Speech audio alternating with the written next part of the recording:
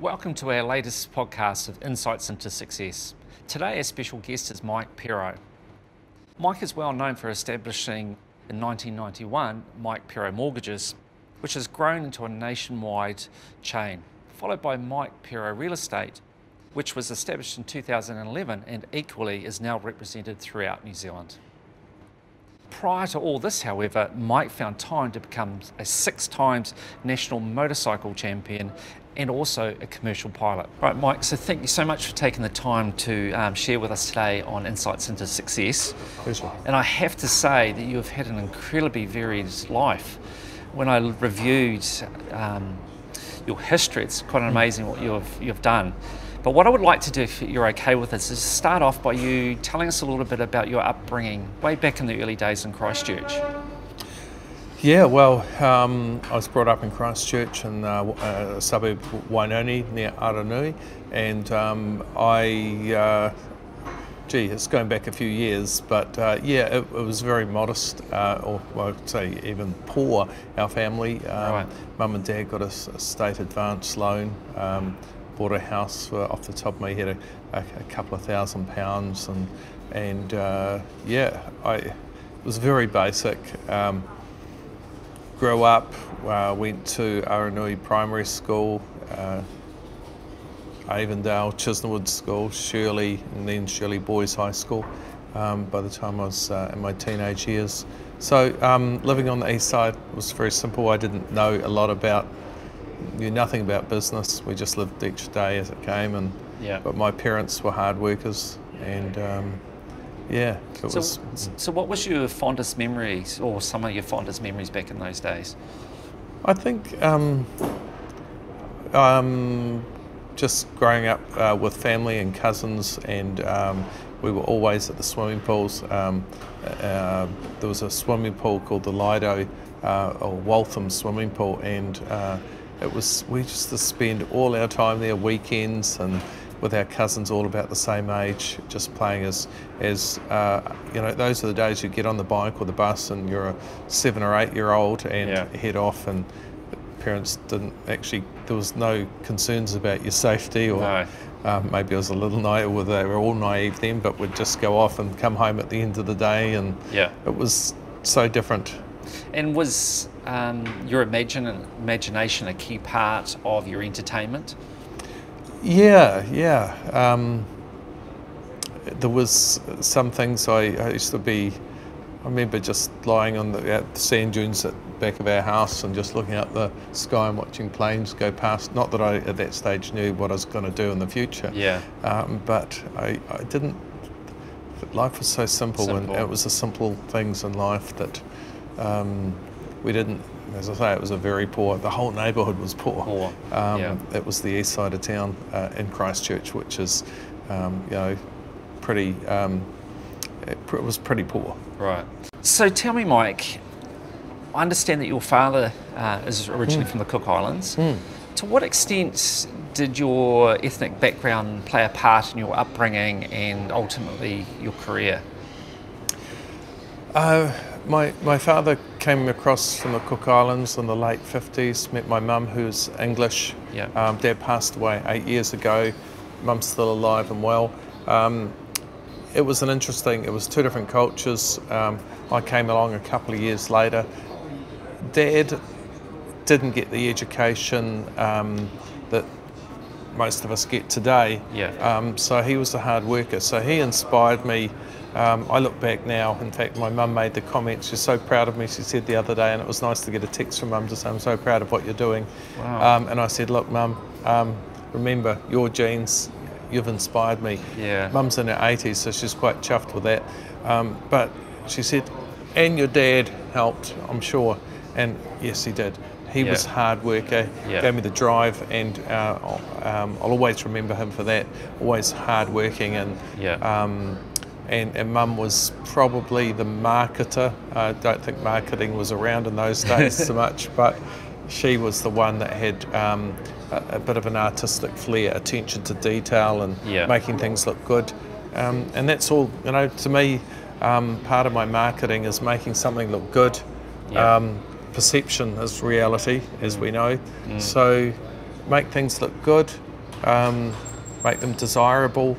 Uh, people are going to um, um, be attracted to your product or your service, and then, you know, it's it's just like you know going fishing or hunting. Um, you want the fish to come your way when you drop your mm. um, line over the edge. And so, so you know, often we see people that grow up in poor communities, mm. and sometimes from minority ethnic groups as well. Uh, we see that they almost get trapped in that cycle and never get out of that. Mm. What would be your message to them, being someone that really, you know, came from a poor background mm. and it was of mixed um, ethnic uh, origin? Mm. What would be your message to them so that they don't just fall into the trap of feeling they can't get out and do something more for themselves? Well, look, um, different cultures, and, and, particularly we'll say Pacific Island people, yeah. um, haven't been exposed to all the commercial factors that by living in New Zealand all your life and being brought up in, in central Auckland might be, or Wellington, Christchurch, wherever, um, they've had a different lifestyle, their values are different for a start, and so they're quite happy for a lot of them um, not to take on a, a career in economics mm. in the past. And so, but look, in, in reality, they're just as capable. Mm. Uh, it's just a lot of them haven't had the desire or the opportunity. Yeah. Um, but look, I've learned um, that you can do things. Things that actually, in some cases, not all cases, seem to me to have been easier than I thought. Until I tried something, I didn't realise it was possible. Right. I mean, there's a lot of things uh, that people from other um, ethnic backgrounds could do far better than us. Yeah. Um, back in their home, but when they come to New Zealand, um, or if, um, uh, like me, came from a poor neighbourhood, never got the chance to try things. But you know, sometimes things are easier than you expect. Uh, there are plenty of people in this country that can help you. Um, mm. Don't um, never say never. Yeah. Because I've learned so many things. If I thought, you know, the young Michael Pero from Aranui was going to be an airline pilot, was going to be a business owner, was mm. going to start an airline. Mm you wouldn't have believed I, it back I, I in the day. Myself sometimes, and mum, mum reminds me, and, and just yeah. I'm so um, proud of you, Michael. Yeah. Um, and I, I think, well, actually, no one's more surprised than me. but it just took, um, for me, it was standing up on the podium with that trophy yeah. made me, my chest was all puffed. I thought, yeah. I, yeah. And look, you know, I'll tell you one thing, and we all know um, a lot of the Pacific people are good at sport. They are, and, and the sport is gives them confidence. Mm. Plenty of All Blacks, you know, a large mm. percentage of rugby players and netball and all the other sports come from those, uh, and then they go on in business. And yeah. Um, so confidence is a huge part. So at that age, do you recall what you wanted to be when you grew up? Probably a fire engine driver. uh, I didn't even think that far ahead right. until look, even at, at, at secondary school, you know, in my teens, I didn't really know what I was going to end up doing. Um, no. I, and what about your motorcycle racing? Mm. Um, at what point did you get interested in that? What drew you to it? Um, look, I was 15, I got on the back of a motorcycle with my cousin Chris, took me for a ride on his Yamaha 250, and yeah, did 100 mile an hour. Um, Actually, that was a bit above the speed limit, I guess. Um, but um, I thought, wow, this motorbike's got my adrenaline going. So started working hard, bought my own motorbike, my own Yamaha 250, yeah. and thought, wow, this is fast. Uh, within a year, I was on the racetrack, um, wow. Ruapuna back in the day, and um, that was just so much, um, so much fun that I thought, yeah, um, I should get into this motorbike racing on a more serious note. So I did, and would go out in the weekends. Meanwhile, I'd lost my license on, on the road for speeding on a motorbike. um, so the only place I could actually ride it was right. on the racetrack in the weekends. So right. I'd go round and round and round and had no idea that I was getting better and better and better. So the first race meeting came up, me and a couple of my mates, we all started together. We were first, second, and third. Um, really? You know, in the, in, in the club racing. Then we thought we'd go into the national series and have a go at that, which was throughout New Zealand from uh, Invercargill to Auckland, and um, wow, uh, my first attempt to win the New Zealand up to 410cc production championship series uh, over six rounds and was a New Zealand champion. Well, so that was the first Amazing. of six. Yeah. And at that stage, how big a well it must have been a big part that played in winning though was your bike surely. And and how did yeah. you fund it though? Because you uh, yeah look that's where I started learning about selling. Um, so as a motorcycle mechanic I ended up leaving school worked in a cardboard factory for six months then I got an apprenticeship. So I learned how to uh, and I was an apprentice motorcycle mechanic so right. I knew how to fix bikes. And for the next four years that's what I did is fixing motorbikes um, and at the same time, coincidentally, I realised that I could fix my own racing bikes, race them. I was a good, I was very competitive, and so um, each year I'd win another national championship, and I won two, two years in a row. So won all the events that I really wanted to, to win. Um, and yeah, I, I um, considered going offshore. One or two meetings in Australia. My brother chose to go the other way and make a profession out of it, which he did successfully right through to the 90s, right. um, 1990s. I ended up, after several years of winning, um, setting up a motorcycle shop, a Yamaha dealership in 1981. I was 21 years old, and I had my first business as a licensed motor vehicle dealer. So one thing led on to another. So you actually ended up though with six, um, you're six times mm. road racing champion, six mm. times. And according to what I, I, researched, it looks like you possibly still hold the land speed record for a 350cc. Yes, um, that That's comes amazing. up quite a bit. Oh, well, I, I set it in 1979. Uh, I was 19 years old, and we set it, and today it remains unchallenged. I'm waiting for someone to do it. It wouldn't be hard to beat that today, but no one's tried. tried. Um, but look, uh, yeah, I look back, the championships meant more to me than the one off uh, land speed record. Um, but uh, the championships were hard work, it needed money, I yep. needed uh, reliable machinery. I was lucky that Yamaha New Zealand uh, was my sponsor, so my machines were always delivered to me. Um, I was lucky there, um, but I also needed sponsorship money to to fund right. on top of that. So I, I, basically knocked on doors continually looking for sponsorship. So I would put proposals to them, which would be in those days typed up um, by my um, fiance at the time, and right. um, she'd type and help me with the proposals. So I'd go in and talk to everyone from Kodak, Air New Zealand wow. back then. Um, and then I just I was just knocking on doors looking for money, basically I was lucky I came across a company called Adler, Adler Typewriters, German company, and just, they said, yeah, we're interested, we'll back you. Okay. And so they wrote a check um, each year for a number of years for me, and that got me continued funding my racing. So in return, I'd um, have advertising on my bike, of course, yep. on my racing machinery and all my equipment team, and then I'd report back to them after each meeting, and they were quite impressed. They were quite proud to say that they supported um, Mike Pero Racing at the time, and right. so it was a win-win. And I was thinking, well, this is good.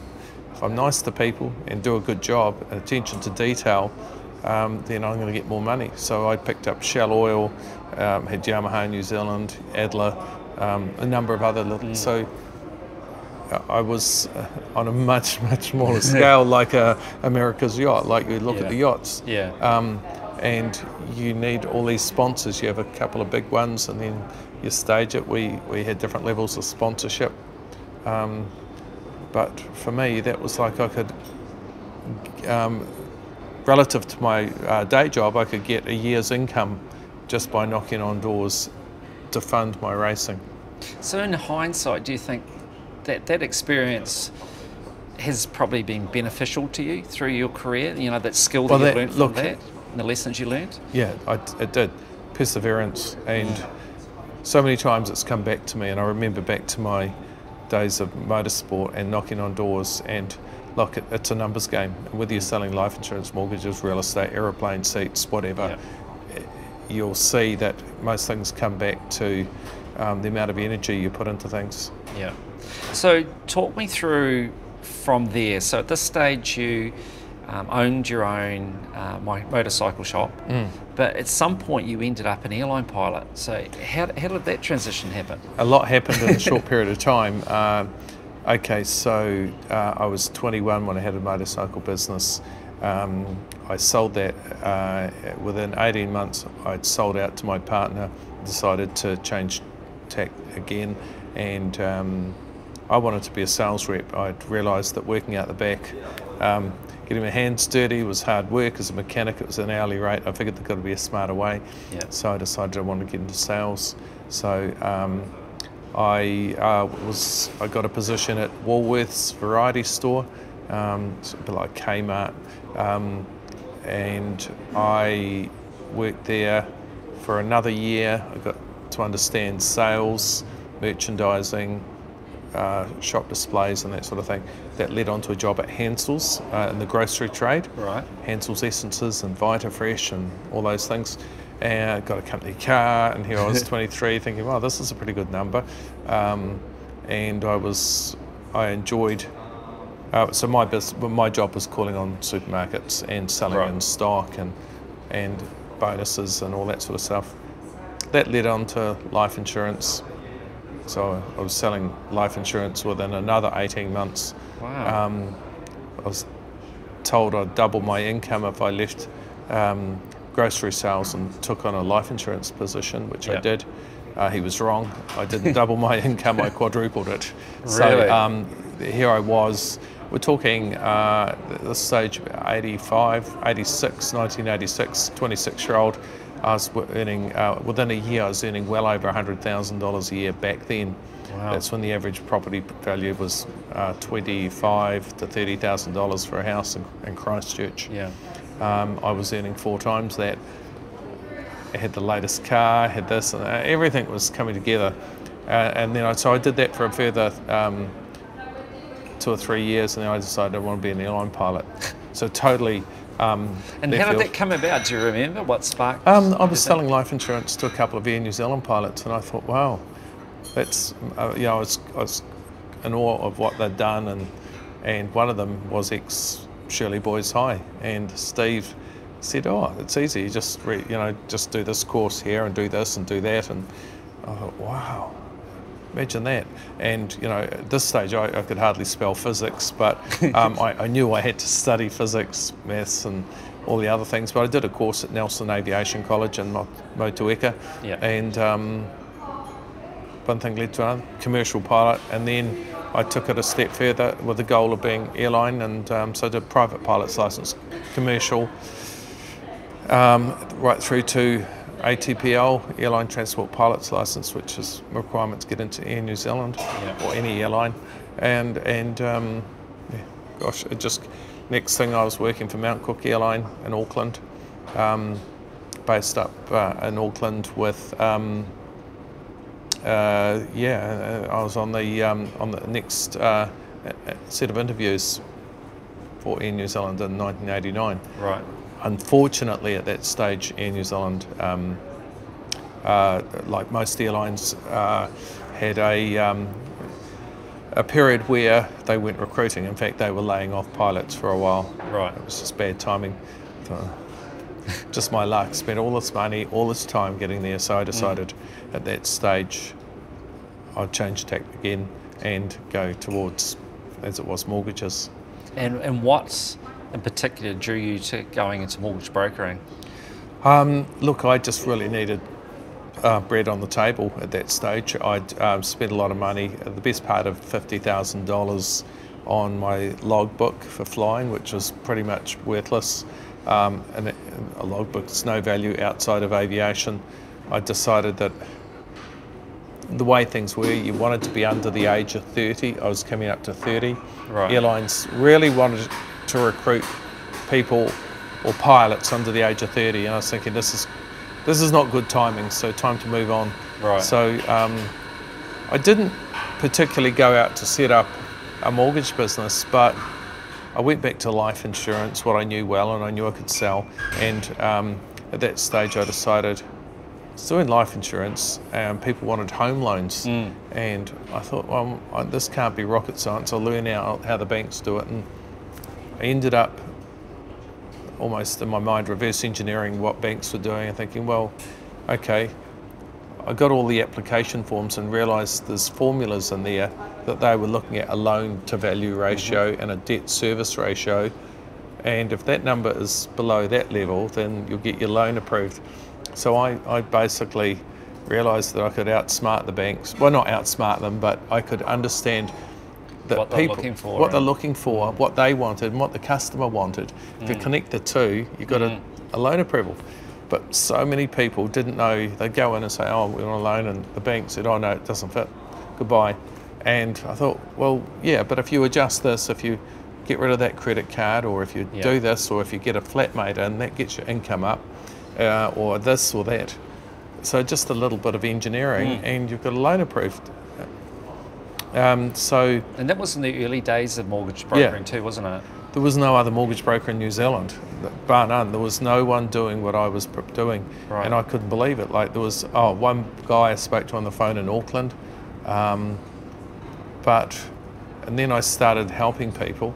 Um, then Trust Bank Canterbury at the time said, look, we'll take your loans, um, we'll process them and approve them, and then then ASB came on, onto the scene and, and and the South Island, their globe or their national expansion from just being an Auckland bank to across the nation. Yeah. They came in, we ramped up their volumes, uh, then BNZ, National Bank, Westpac, and they all came in, and the business grew from there.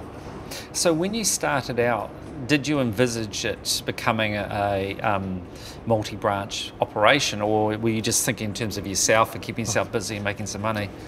Exactly. I was just thinking, um, again, uh, just this, um, just money on the table. If I can sell a mortgage effectively, and our service was free, so the banks would pay me for each loan I bring them. So I bring them a fifty thousand dollar loan, I would get paid two hundred fifty dollars, which is good money. If I did that twice a week, that's five hundred, uh, thousand, and so on. And then I was just well, I was going to say lucky, but I was the only one working that hard to um, um, to to help people, and, and it was a really good feeling, getting uh, helping uh, predominantly first home buyers Right. into their first home. It was just so satisfying because I felt like Robin Hood, getting money off the rich, the banks, and you know helping people into their homes. Homes. Yeah. So really, through your time though, you've shown a real propensity to do different things and to learn. Obviously, learn quite quickly. Yeah. Um, look, I think as I've gone through life, I thought, okay, so if you do this, that, you get that. Um, but it's really two and two equals four. And so many things aren't as complicated. So called professionals. Yeah. Um, I think, well, if somebody else can do something, why can't I? So confidence has grown significantly Right. for me since I was a very shy, quiet boy and uh, in class at school. I could not stand up in front of my class, as I say, in front of three mates and string a sentence together. I was so nervous wow. um, um, I didn't have confidence, um, very shy, and but I realised how much confidence can um, build success. Make a difference. That's the huge thing for me because I don't consider myself sharp or bright. Um, I just I'm just someone that works particularly hard um, at getting things to work. So do you think, like, touching back with your motorcycling, your success here, do you think that was largely because you just worked really hard? Yeah, look, I, I, if I'm honest, I think I have, I had natural talent at it.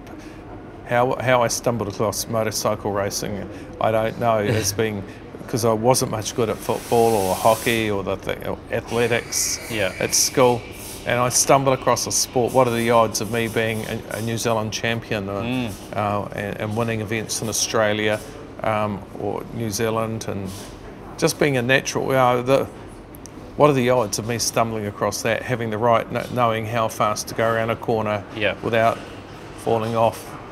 Typically, speeds of close to 200 kilometres an hour.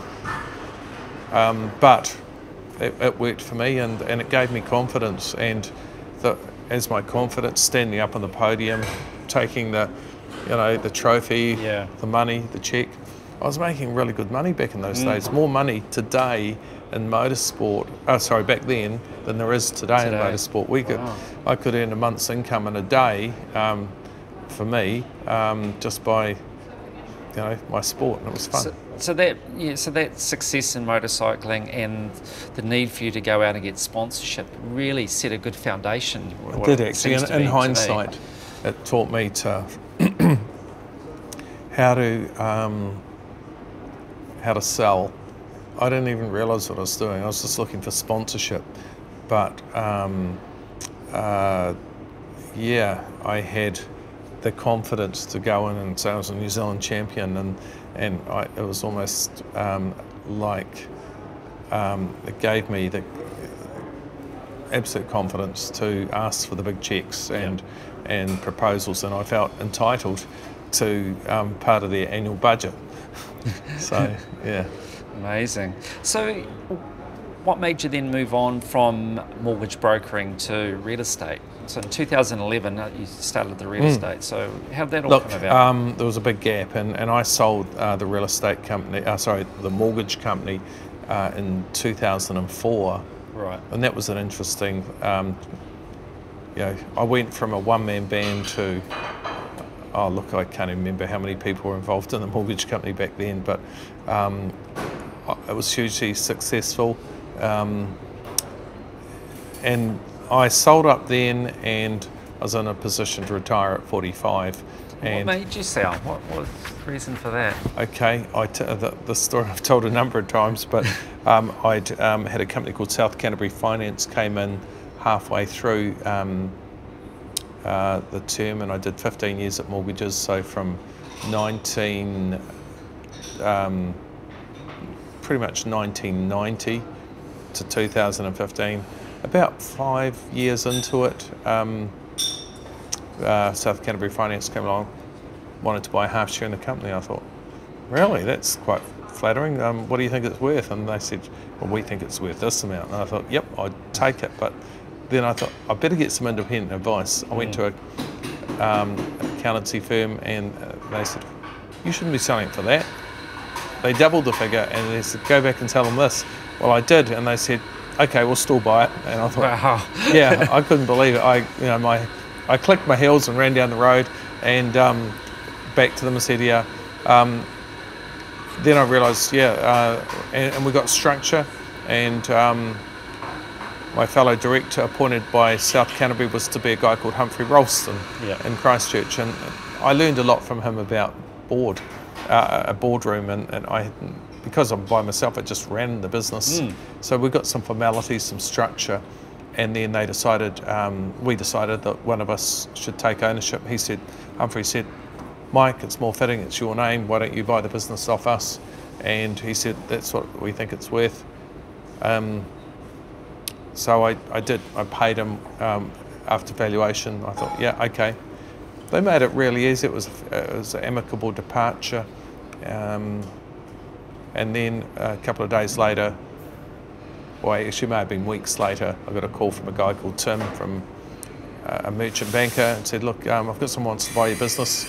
I said, Tim, I've only just bought the other half back. I own 100%. It's not for sale. He said, I think you should, um, we should meet. And I said, well, wasting your time, but he says, I'll bring you a coffee. We'll have a chat around a table. So he brings us coffee and I, um, he says, right. And I said, Tim, I told you it's a waste of your time, not for sale. He said, Mike, this is the figure. So I said, great, when do we meet the guy? so within a 24 hour period, we'd signed up Wow. uh, a conditional sale to um, George Gould, another entrepreneur in Christchurch. Um, and uh, I had never seen so many numbers. I thought I'd won lotto. It was like winning lotto for me.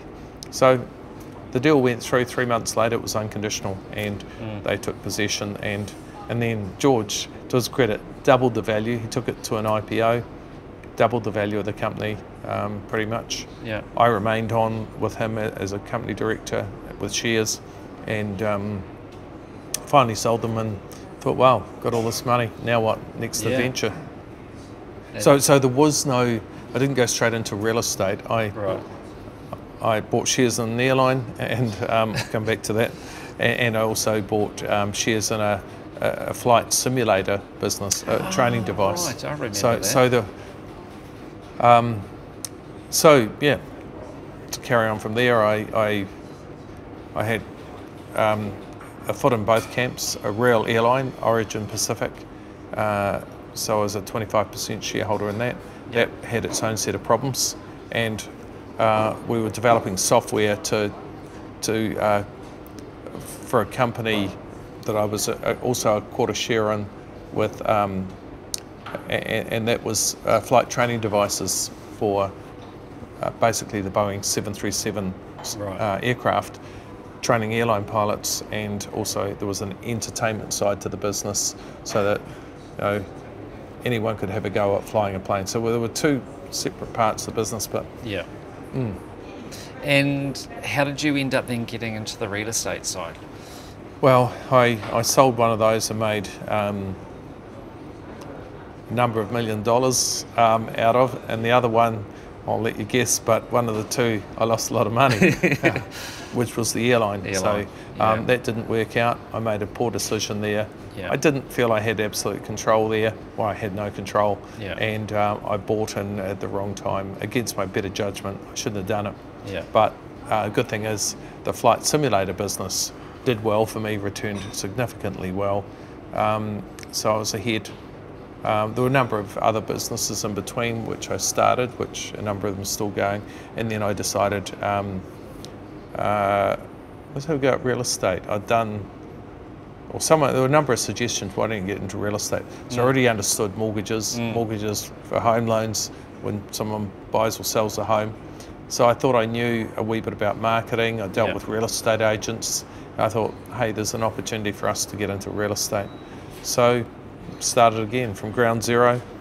Um, but I wanted to use my own name, um, but I'd already sold that as a trademark with Mike Pero Mortgages, right. so I had to go back and ask them if I could have my name just for real estate. Uh, they were very interested and uh, said, look, why don't we go halves in this? We'll do the funding for you.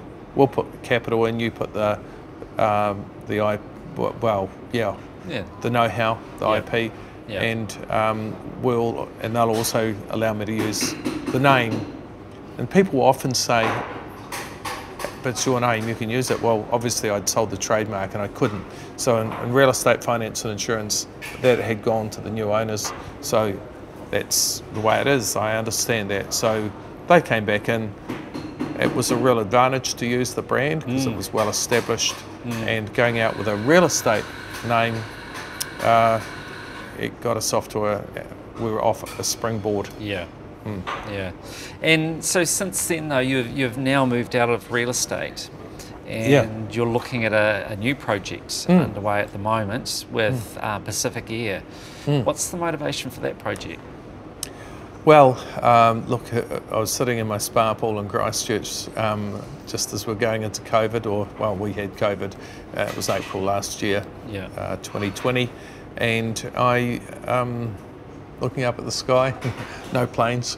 Uh, it was deadly quiet, and, and and also thinking about the Cook Islands, how uh, there was uh, no connections, no planes flying, and I thought, okay, so fuel's down in price, aircraft leasing's down.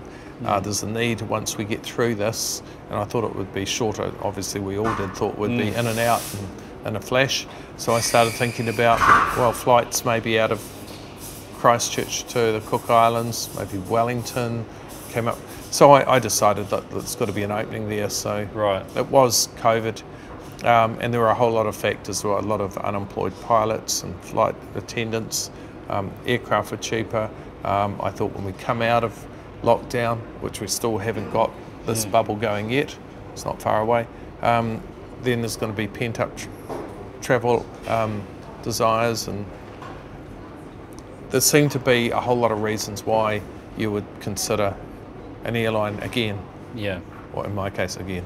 Yeah, so I mean, for you, I guess it's a great example of someone who's trying to take a negative and turn it into a positive. You see, mm. negative situation with COVID, but through that potentially is an opportunity. Look, there's uh, and now we look back over the last 12 months. Uh, yes, a lot of businesses have been hit really hard, but there have been so many um, companies globally and in New Zealand that have done so Done well. actually well, And yeah. good on them. Uh, we would have bought Zoom shares um, uh, way back and uh, before COVID. Who would have thought um, that's become part of life now? Mm, absolutely. so, reflecting back now, what do you think have been some of the keys to your success over the years? Um, I think, uh, as you talk to most people in my position, uh, it's it's been um, good ideas, hard work, and timing. Um, there's yeah, you could say there's a lot of luck, but I see the same factors coming up each time. No substitute for hard work, enthusiasm, persistence. Um, timing has a lot to do with it. So you've got to think not everything that glitters is gold, Yeah. um, but at the same time, not everything when you start out um, is obvious which way you're going to go, but you've got to start walking down that path. Right, you've got to start somewhere. Mm. So, do you think that people, some people are lucky, or do you think that the harder you work, the more you can generate the opportunity for luck to come your way? I mean, what, what's your view on the whole concept of luck? Look, yes, sure, some people are lucky. They might win a lotto um, uh, prize, or, um, but unfortunately, as statistics show, most of those people lose it within a few years. I, I guess I've always, um, I've always worked hard, and um, as, as you just said, the harder I work, the luckier I get. I always remember that. And, Right. and sometimes I'm working late at night. Even last night, I was working on, on the airline stuff, and I'm thinking, wow, it's now past midnight and I'm still going. I was up at 5.30 yesterday morning, um, and I finished the day at 12.30. Yes, I'm put. Uh, there's a lot that happens in my days, more than Yeah. one project. I have to turn my head very quickly to something else, totally unrelated, make a decision, and and you know, I'm running five or six businesses at once here at the moment, and but I don't fluff around during the day. I um, I just get things done, and um, but each each each business, I've just pushed myself a little bit harder than the average person might. Right. In like reflecting on what you've just told me, I mean, you've done so many different things. So, do you think that that's um, helped you along your journey? The fact that you've kind of had to do different things, so you become quite adaptable Versatile. and uh, yeah, versatile. Yeah, look, I definitely do. I, I, I can. I've got the confidence to take on most businesses. I just have to get the key fundament, understand the, the fundamentals, and then think right. Um, now at, this stage in life, I wish I knew uh, what I know today 40 years ago, Yeah. um, because I would have done it a lot quicker and faster. But Right. look, um, I just, for me, part of the reason I've taken on the challenge of an airline is that's the ultimate challenge. It's the, one of the hardest businesses Mm. you could ever hope to, to, to, to operate. There are so many aspects to it. Um, it's, it's like the ultimate game. Uh, having done all the other things, but at the end of the day, it's just bums on seats. It's just selling and making sure your expenses are less than your revenue. Yeah. And but it's no different to a, you know, cake shop. You know, got your ingredients and all that, and Yeah. um, staff. But it's on a huge scale. It's huge, and there's thousands of moving parts, Mm. even the side of the aircraft. But there's so many things that have got to come together. Yeah. And that to me is is rewarding, and I'm enjoying what we're doing now. So, can we talk about any sort of situations you've been in where things haven't worked out and you've failed? I mean, along your journey, have you had many failures? Oh, look, uh, I've had maybe a handful, so five or more. Gosh, not big losses. Uh, well, certainly, I guess you're talking millions, um, but individually, some of them businesses have started and they've not worked out. I can say I've never um, been bankrupt, never put a business into receivership or administration, or Yeah. I've never not paid debts, never had unpaid uh, creditors Yeah. sometimes I start a business, uh, well, I go back years ago, but I'd start a business and I think I can see this not working. Right. And so I just sell off the vehicles or Right. uh, just put everything back on the shelf and bite the bullet. So you were you were able to disconnect from the emotional and, and be clinical and just go right okay this isn't working Yep. because you know how some people like they go so much down a path that they can't disconnect and be objective Well, and they just no, they, they're just emotionally involved and Yeah. say, look, we'll- we'll turn it around. But the hardest thing to do is, is um, at times is to say this is not working, and you know if you've got staff involved and say, guys, it's not working. yeah Um, so I'm going to have to make you redundant or whatever. I've never had to. Well, I, I haven't. I don't recall having to do that, but um, it is. I I know a lot of businesses, uh, and today, uh, post COVID, a lot of companies and small businesses have struggled to get through. But look, it's better to take control and shut it down than be Yeah. closed down. by somebody um, else yeah Yeah, it's not easy. And how do you view your failures? Like, and I, and I don't want to preempt anything, but have they been really good learning experiences for you? Like, do you feel you learned more from your failures or not? I mean, what's your view? Look, um, yeah, you learn. Um, yeah, you learn the hard way that um, there there have been failures, and um, you've just got to watch the figures, the trends, um, and you've got to be realistic with yourself and think, um, where's this going?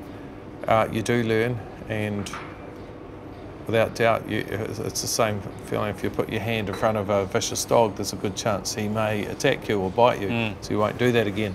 Um, and the same with, um, just got to be, and some, ha- some people say, you know, feel the fear and go for it anyhow, but there may be fear there for a good reason because Yeah.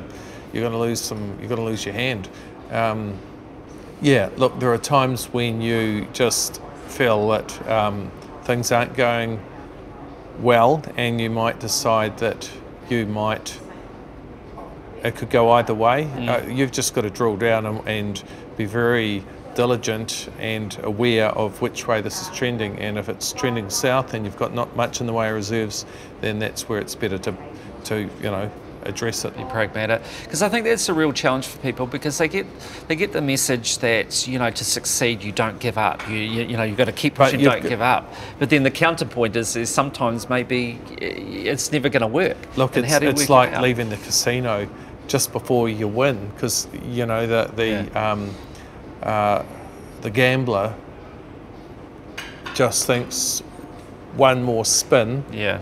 and I could be in and I would just recover everything. But you'll never know that that one was actually, as you went down the stairs, uh, that was a win and there was, you know, a million dollars that would have come your way. Um, so I I think I also hear a lot, um, you know, I'm bummed out of university and yes, um, now I'm a millionaire and th- there'll be stories like that. I, I think um, Sir Richard Branson, a huge success globally, um, and uh, yeah, he, he, I think he was a failed university graduate. But doesn't mean to say that that's part of the way. You've got to fail university, yeah. and now you're an entrepreneur, Yeah. and, and it's going to come your way. I, I wish in some ways I, you know, there was a bit of university for me in there, but there wasn't. I could have done a lot better. So, what do you think have been some of your greatest lessons so far in business? Um, you know, sometimes I'll say I should have gone with my gut instinct. I shouldn't have done this. Um, but then there have been other times when um, my gut instinct told me to do it. And it, for, there, there are so many situations, um, and there's, uh, I think, if, if people are, are watching this and are thinking, well, do I listen to my lawyers and my accountants? They said no, but I did it anyhow. And there'll be people that said, you know, everyone said you, you weren't going to do it, but you weren't going to succeed. But I, I went against their judgment and I did succeed. But look, equally, there's so many times I thought, gee, I, my accountant said it doesn't look good. And I, I overrated my sort of skill set and thought, I'll turn it around. Right. And that was the case with um, the airline. I, uh, Previous one, Origin, I thought I can turn this around, but um, sometimes you've got to face reality. So, um, yeah, professional advice, um, be objective. So many times, um, Rachel, my wife, would look over my shoulder and she said, I just don't see this working. Yeah. She's probably been right in a number of times that I've gone against, you know, and she said, I, am not going to say I told you so. but um, fortunately, nothing super major. But right. I think, um, you know, a lot of people say, um, everyone thinks I should do this or uh, and that's an exaggeration in itself. Everyone, so everyone in the world, or everyone in the uh, everyone in the room, or or just well, I had two or three people. I, I love the one where people say, oh, everyone thinks this and everyone thinks that. Well, tell me, Paul, how many people is everyone? Oh, well, actually, um, uh, Diane said that, and somebody else. So that's everyone. And yeah. you know, you can you can just generalise and, and make anything sound like you've given it a lot of thought, and but in actual fact it's only three people today, yeah. but um, you know, and, and, a lot of people are encouraged that oh, this they reckon it's a great idea. Well, they probably say that because they want to you know build your confidence because you want to start this little cake shop in the corner, and they think it'll work. Everyone wants muffins. muffins are rule. Mm. Uh, you know they're in vogue, so you should have muffin shop. But you've just got to make your own assessment, and sometimes everything's oversimplified. On the other hand, some could be overcomplicated. So for you, you, from what I'm hearing, your gut's not 100% going with your gut. It's kind of for you, it's been a balance between just being clinical and listening to your gut sometimes. Is that is that right? Yeah. Look, I, uh, if I'm honest, sometimes my gut instinct is right. Sometimes I get it wrong. Um, but when I, when I do have a decision that is pretty important to me, I'll ask people who I have respect for, yeah. and um, and I don't look, you know, for support from people that will just say yes all the time. Yeah, you want um, objective answers. Yeah, it's good to get objective, and yeah. and I'll talk to people, I'll think about things, and then it's really right. I'll go with that decision or.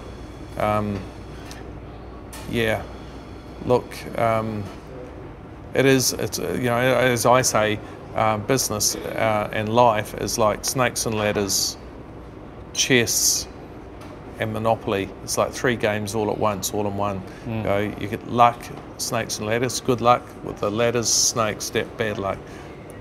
Chess for strategy, and all the time you're going around a Monopoly board. Yeah. You know, there's there's a combination of all of those and you're dealing with issues. So um, life's like that in business at times. Yeah. And what's what would you describe as a key motivation for you? What really drives you and, and has pushed you on through your career? Um, probably the, the feeling of being competitive um, in business. And, and it, it actually does go back to what I learned in motorcycle racing. Sometimes you didn't get off to a good start, Okay, so I could see the others in front of me. Mm. I'd want to be up there and in front of them. And I knew that, you know, before the checkered flag, it might be a 15 or 20 lap race. I've got a certain amount of time to be there at the end front. And I'd have a strategy to get past them. I'd watch the way they move. I'd go, the, they'd zig, I'd zag. Or, um, um, and so I knew where their weaknesses were. And businesses like that, you know where your competitor is, and you go that way around them, or you do this or do that. Mm. Um, I love the competition. Um, I used to get a real buzz out of being close to another bike as we go into a corner, try and outbrake him, or, uh, and it was often a him, uh, always a him, but um, go into the corner mm. inches away from each other, and I just get around the corner uh, a little bit ahead of him. Yeah. And then take the checkered flag. Yeah. And that's all that mattered. I needed to win by that much or yeah. whatever. Um, and the same in business. I enjoy the, I, I do enjoy competition. Mm. I, I, do love it when I'm, you know, when the business is doing well because mm. your streets ahead of the competitor. Yeah. And in mortgages, that was a great feeling because I couldn't believe I'd look around, where are my competitors? No one else is doing mortgage broking. Today there's a couple of thousand mortgage brokers. Yeah. So for you though, would you say that um, the keys for you being successful have been that you're competitive, um, that you are adaptable, in what you do. Uh, you're a hard worker. What, what sort of do you think would be the key elements for your success? I think I'm a, a hard worker. Um, all the way through, I've, I've uh, surrounded myself by people that I believe in certain areas have more skill than me. Mm. Um, I'm just like the conductor, we're surrounded by good musicians, and uh, whether it's Sam, Juanita, um, Natalie, all you know, marketing, hmm. accounting, mm. legal, um, they're all specialists in their field. So I just, I, I think I I think my skills are that I get on well with people, I yep. communicate well with my internal team, and collectively I, I feel we make decisions. Um, and it's generally my decision at the end of the day to go this way or that way.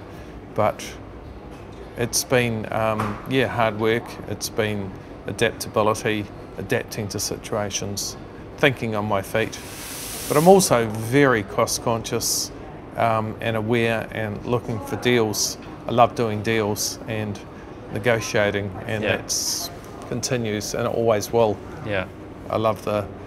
I got a good deal, and, and whether it's uh, you know small things or you know million dollars here and there, it's a good feeling. Yeah, and um, you're currently heading up the New Zealand version of The Apprentice. Mm.